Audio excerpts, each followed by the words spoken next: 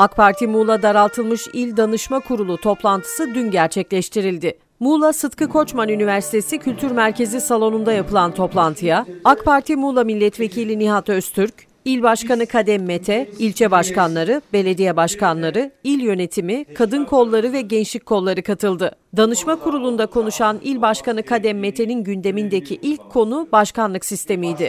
Bununla ilgili olarak da muhtemelen yakında önümüze çıkacak olan bir referandum takvimi var.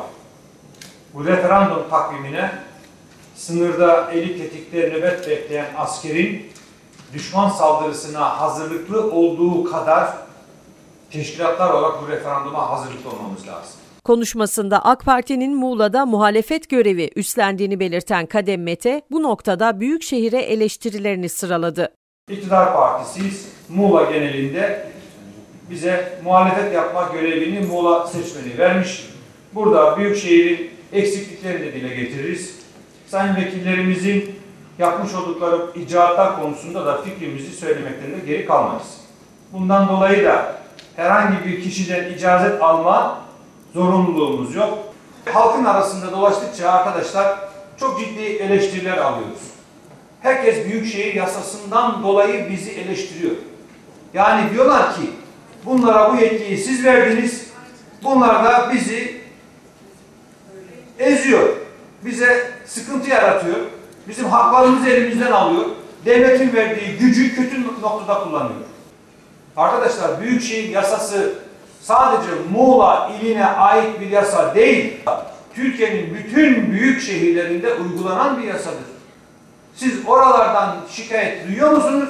Bodrum'un belediye başkanı dahi kendi partisinden olan büyük şehirden yakınıyor ise Cumhuriyet Halk Partili belediyeler dahi bu yasadan dolayı şikayet ediyorlarsa bunun yasa ile alakası yok. Uygulamada yanlışlık var, beceriksizlikler var. İlçelerdeki bütün teşekkülleri evet alma yetkisini vermiş büyük şehire yasa. Ama ilçe belediyesine de devretme hakkını da vermiş. O tercihi de koymuş masanın üstüne. Yani eğer siz ilçelerdeki otoparkları, ilçelerdeki iskeleleri, limanları, ilçe belediyeleriyle bir protokol yaparak hatta oradan bazı kazanımlar elde ederek, bazı kar payı talep ederek onlarla anlaşma yapma hakkınız ve yetkiniz varken hayır hepsini büyük şehre toplayacağım, ilçelere hiçbir şey bırakmayacağım şeklinde bir hareket içerisindeyseniz bu sizin tercihinizdir. Su fiyatlarına yapılan zammı geçtiğimiz aylarda mahkemeye taşıyan AK Parti İl Başkanı, Muğla ve ilçelerinde hala tartışması devam eden su fiyatları ile ilgili de konuştu. Peki siz iktidara geldiğinizde 2.6 kuruş olan su fiyatını 8 liraya çıkartırken millete su içmeyinde başka bir şey içmek için bir alternatif mi sundunuz? Suya yüzde 300 zam yaparken bu millete alternatif olarak ne gösterdiniz? Mete ayrıca Cumhuriyet Halk Partisi lideri Kılıçdaroğlu'na da Muğla'dan seslendi. Ben Kılıçdaroğlu'na serzenişte bulunacağım burada. Eleştireceğim.